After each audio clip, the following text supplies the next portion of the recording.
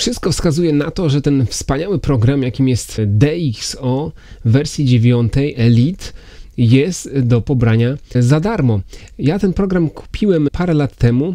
Zwróć uwagę, jest to wersja właśnie dziewiąta, jest to wersja Pro, jest to opcja Elite i zapłaciłem za ten program około 1350 zł. Było to parę lat temu i był to fantastyczny program. Jest to fantastyczny program. Używam tego programu do wywoływania zdjęć i ma fantastyczne parametry, jeśli chodzi o odszumianie i wyostrzanie.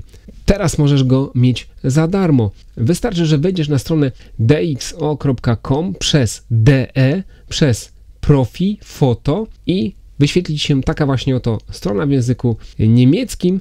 Wystarczy, że wpiszesz tu swój adres mailowy i możesz pobrać do końca sierpnia swoją wersję programu DXO. Jakiś czas temu była podobna akcja ze starszą wersją, no i jedynym ograniczeniem było to, że po prostu wychodzą nowe aparaty na rynek, no i te aparaty nie będą współpracowały z tamtym starym programem. Ten program wymaga aktualizacji. Natomiast teraz y, ta wersja otwiera rawy z większości współczesnych aparatów.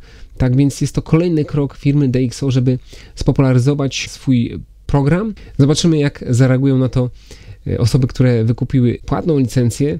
No, takie osoby jak chociażby ja. No, ale dzielę się z Wami tymi dobrymi informacjami, bo jest to naprawdę fantastyczny program. Polecam.